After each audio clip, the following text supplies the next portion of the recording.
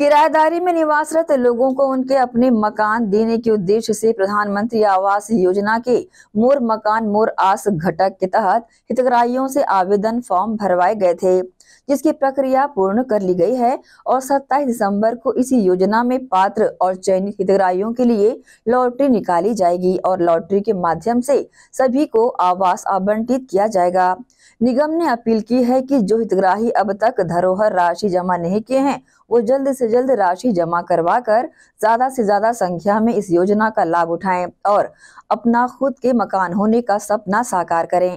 प्रधानमंत्री आवास योजना के अंतर्गत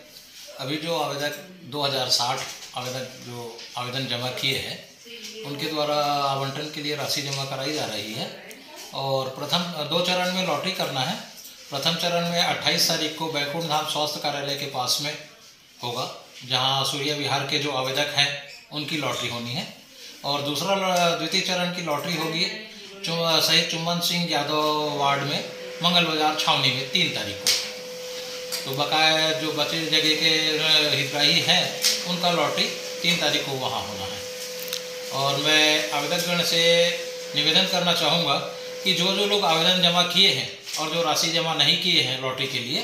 तो वो ज़्यादा से ज़्यादा संख्या में कार्यालय में उपस्थित होकर राशि जमा करें और लॉटरी में भाग लें। हम लोग अवकाश के दिन में भी ऑफ़िस खोल के बैठे हुए हैं और लगातार मोबाइल के द्वारा फ़ोन के द्वारा उनसे संपर्क किया जा रहा है कि आके राशि जमा करें और सूचना पत्र प्राप्त करके लॉटरी में भाग लें। आवेदन तो उनका जमा है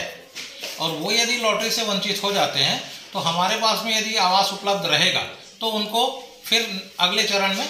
उनको राशि जमा कराकर लॉटरी करेंगे।